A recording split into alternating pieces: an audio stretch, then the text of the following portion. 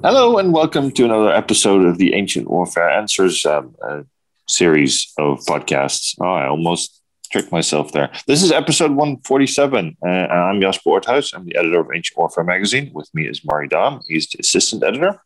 And today, Murray and I are going to be talking about holy wars and whether they're they require monotheistic religions or not. Murray, what do you think? Ooh. Well, the short answer is no. Um, so Natasha's asked us about pre-biblical. So whether I'm not sure if that means pre-Old Testament, in which case, well, we don't know. Uh, but there are some wars over religion in in that earlier period, and of course, wars over religion have become very um, non PC, and there's been a long movement in historiography to try and find other reasons for these battles, even though, you know, we have several wars in the ancient uh, Greek and Roman period, which are called sacred wars. They are wars to control sacred spaces, and they are wars about religious. Uh, what's the word? There are, you know, the, the the the most famous one, of course, is the Battle uh, of Marathon, is meant to be punishing the Athenians for the sacrilegious act of burning Sardis uh, back in the Ionian Revolt in 494.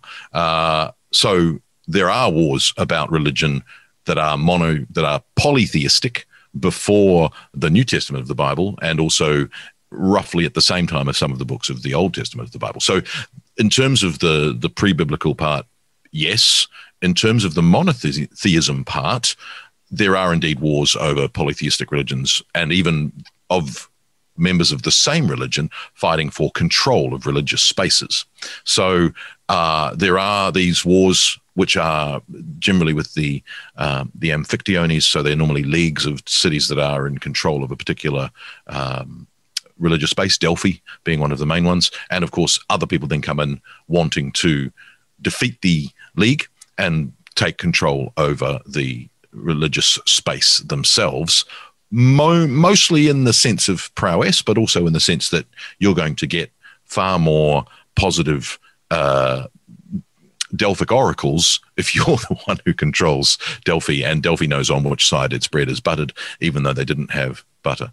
But so the question uh, is that there are indeed lots of them. Um, so obviously, when the Persians then invade uh, Marathon, they are defeated, but then when Xerxes comes back and invades uh, Greece again in 480 BC, 2,500 years ago this year. Uh, so about now, when are we? We're in April. He's gathered his army and he's he's beginning to think about crossing the Hellespont by now.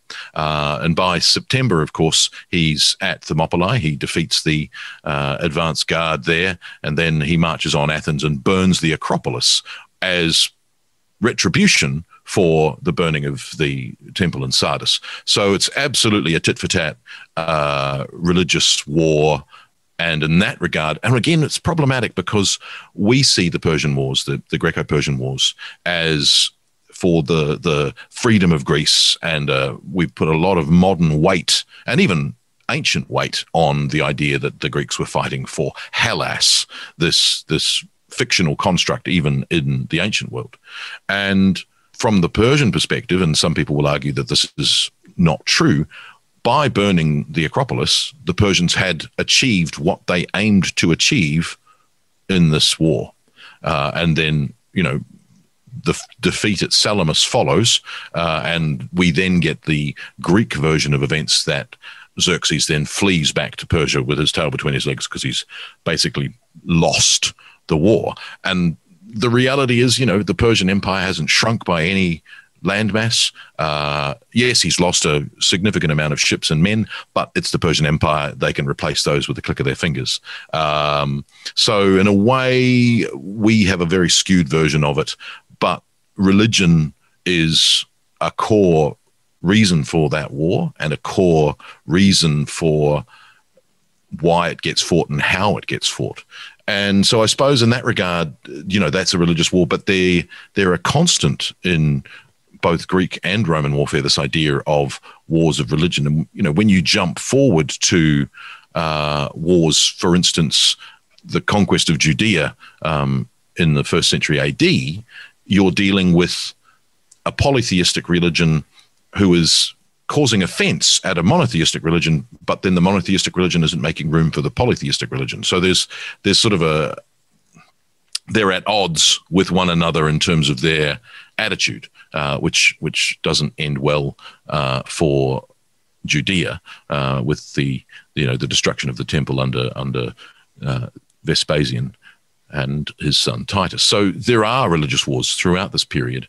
Um, you would probably argue that there are minor religious wars as well. You know, we, we hear about the Druids and getting rid of the Druids as being a major cause for an expedition to Britain, and of course the the eventual uh, expedition to Anglesey in northwestern Wales to get rid of the Druids. So that's very much a a kind of a religious pretext, I suppose. Whereas, again, there have been sort of ways of making that not as much of an emphasis as, as it might have been in other periods of time.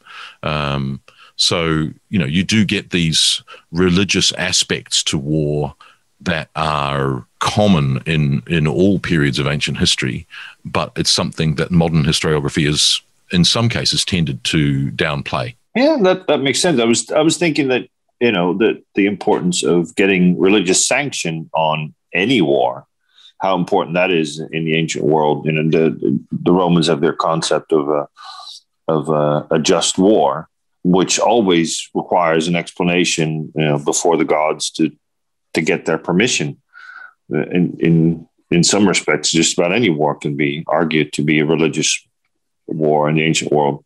Yeah, well, I mean, when you're doing the sacrifices before every single battle and every every invasion, you know, the gods are approving your actions. So uh, you know, and even even in the the pithy statements of generals, what you have, of course, is that when like there's. Um, I think Caesar, uh, they do the sacrifice in the animals without a heart, which, you know, that come on guys you know the priest obviously wasn't a fan of what julius caesar was planning and took the heart away uh, you know what um, and then so that the troops wouldn't get you know horrified that here's a here's a creature without a, an organ to sacrifice uh, you know, Caesar's comment is, well, is it surprising that such a barbaric creature is without a heart? And, you know, he wins the crowd over. So, yeah, uh, you know, just, or, yeah. or, or, or, Numa with the, with the, the white stag that's following around and giving him advice on, you know, this is what I'm going to do. And, you know, Eumenes and all of these others who've got this religious, uh, propaganda machine to approve of what they're doing or pre-approve what they're doing.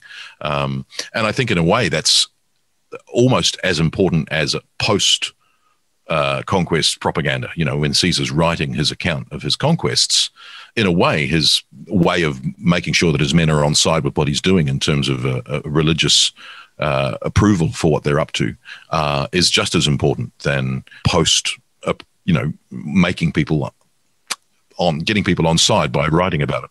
I was thinking of the Iliad. It's caused by those pesky gods. Well, that's yeah, religious war in the yeah. Well, the gods are in the middle of us, causing strife, literally. Um, yeah, so so I think that yeah, exactly. Framing war in religious terms, even to the sense that the gods are playing out their own, you know, capricious desires in the middle of our battles. That's something that goes all the way back to to Homer.